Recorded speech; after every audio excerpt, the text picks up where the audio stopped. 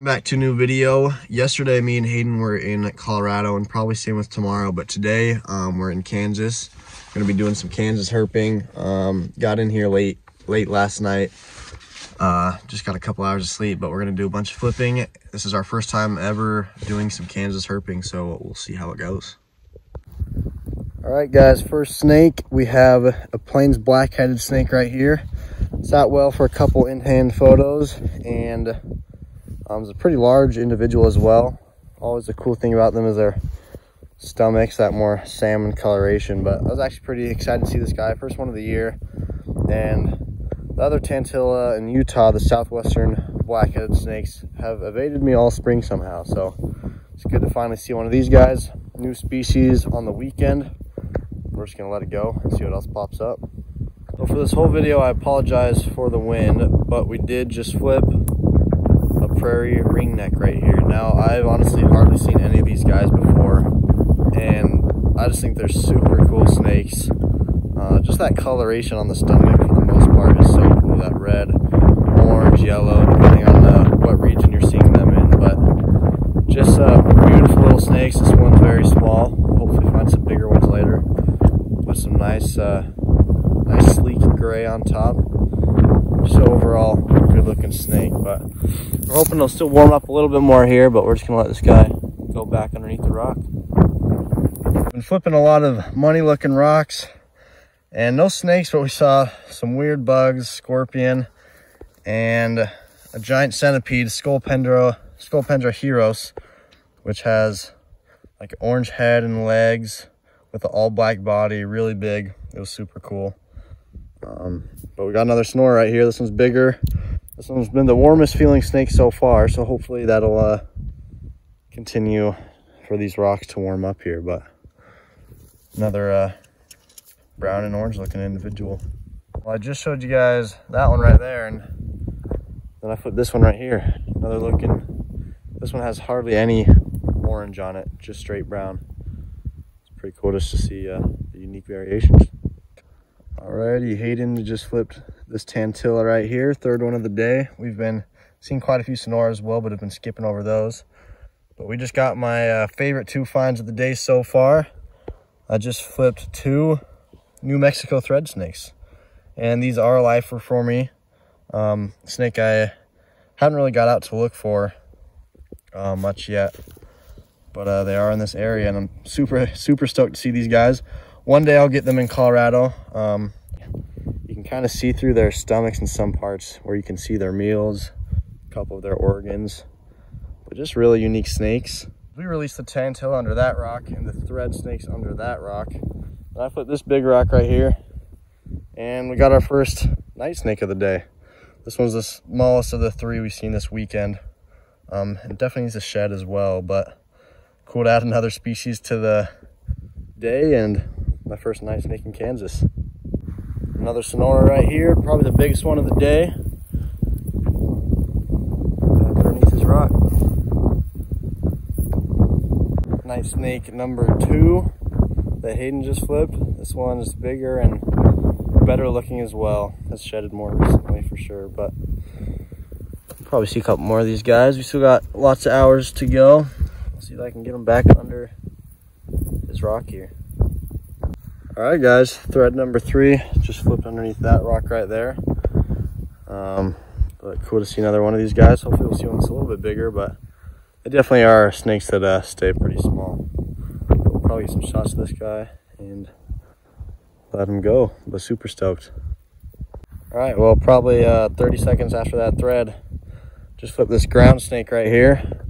This one's uh, a little unique looking from the others. Has a lot of that brown and then kind of some black stripes down the sides. The pattern kind of reminds me a little bit of a patch nose almost, but uh, cool to see some variation here as well. Took a quick uh, lunch slash snack break and we're back at it, slightly different hillside. And got the fourth thread of the day right here. All right, guys, here's the centipede we were talking about earlier, heros. I'm not putting my hand too closely to it because you don't want to get bit these guys, but it's probably about six inches long. It's a huge centipede. We also got fire ants everywhere, so uh, we might be trying to set this rock down pretty soon here. I was getting ready to flip this rock right here and it's hard to see with the shadow. You can see a little rattlesnake sitting on right there. So Hayden got a couple shots while it was sitting there. Just a nice, very small Crotalus viridis. Is the first uh, rattlesnake at all that I've seen this year. And sitting still, maybe we can, might start to move here. Definitely uh, see shelter in the bush. You can see it'll probably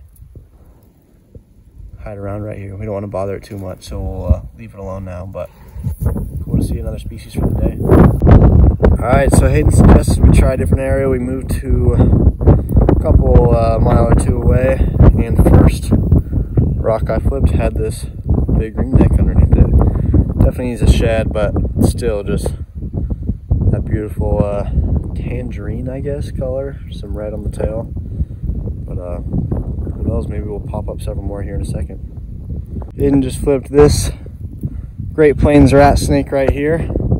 It's uh, about the same size as the other one, maybe a little bit bigger, but is not in shed at all. And is a stunning looking snake. That head looks really cool. The two uh, dots on the top there. Um, just some clean, clean patterning, but cool to have flipped three of these guys in the last two days. Um, we'll take a couple pictures and then uh, set it back under its rock. Got another ring neck right here. This one's might be the biggest and has some really nice coloration on it as well.